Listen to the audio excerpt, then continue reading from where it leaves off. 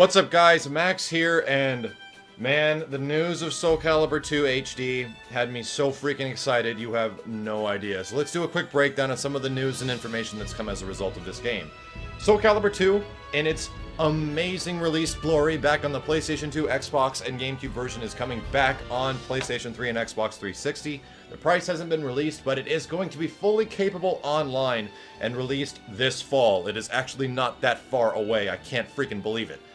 What's amazing about this is the fact that I think the netcode and what they've mentioned before during the panel, which I sadly did not get to go to, was talking about the netcode being worked exclusively for this game in tandem with the guys that worked in the netcode for Tekken Tag Tournament 2 and Soul Calibur 5.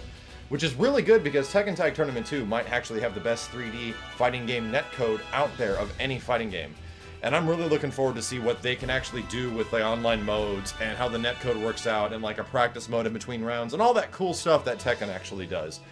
I'm looking forward to see what Nam to see what Namco has in store for us as far as Soul Calibur 2. And the bigger issue as a result of all this, and you guys definitely know, Soul Calibur 2 was a really, really, really popular fighting game back in the day because it did something that not a lot of fighting games did.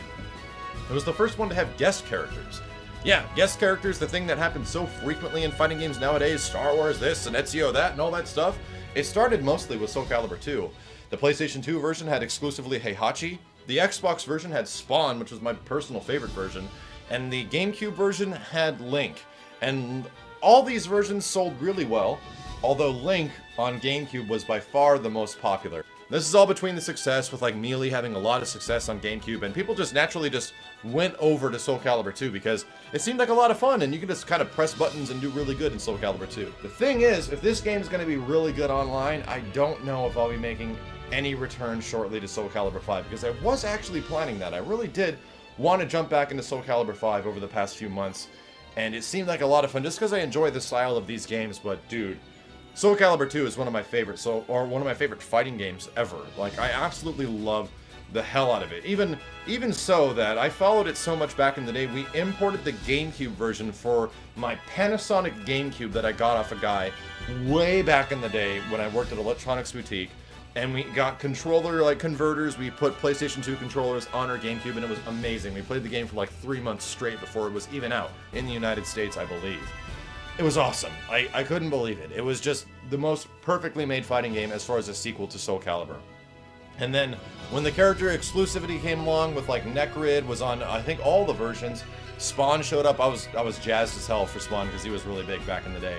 But I don't think any of that stuff is going to come back. Like I think the only character we're possibly going to see is Heihachi because Heihachi is still owned by Namco. Like Tekken is still a thing with Namco, so there's no crazy rights or distribution issues or like, you know, anything like that. So I think Necrid, I think Spawn, and I think Link aren't going to see the light of day in any way whatsoever, which is really sad because the game's only coming out on PS3 and Xbox 360, and I don't know why exactly it's not coming out on Wii U. It's a little weird to think that in the state we're at right now, the Wii U actually needs games, and people just aren't making games for it, with like Strider recently being announced not being on Wii U, with Soul Calibur 2 online not being on Wii U. You would think that it'd be a really good opportunity to bring in a lot of sales because the GameCube one was the most popular one of them all, like way back in the day. Everyone played the GameCube one because it had freaking Link in it, and he was the most popular character. And you would think that this would be a good incentive to release the game on, you know, Nintendo's new system, but I, I guess not. And I can really hardly blame Namco. It's like a big risk thing. Like you gotta, you're worried that your your system, your game isn't gonna sell on this system, and it's not even gonna be worth the time to port it over or the money. So you just don't do it. I think Nintendo needs to get on the ball with this stuff. I really think that this isn't exactly the fault of developers and publishers with the how expensive it is to make games now. I really think it needs to be in the hands of the console like developers, the people that actually make the console and the companies behind them to go to Namco and go to Capcom and be like, guys, what do we have to do to get you to put this game in our system? And who knows, maybe it's a Japanese thing, maybe it's a very like Japanese game development philosophy. I don't know. I have no idea what's going on, but I would like to see some games on the Wii U at some point besides like the launch titles and just first party titles. So, in summary, I'm I'm jazzed. Like I'm I'm really freaking jazzed because I debuted that game back in the day. I have freaking a Soul Calibur 2, like limited edition cell art from way, way, way, way, way, way back in the day. And this was released with only a few different versions of, um, I think this is only for the GameCube version of the game. So dudes, I also have like this giant Soul Calibur 2 poster from the arcade, uh, and it was specifically for the arcade version that you would hang in front of like the windows of arcades.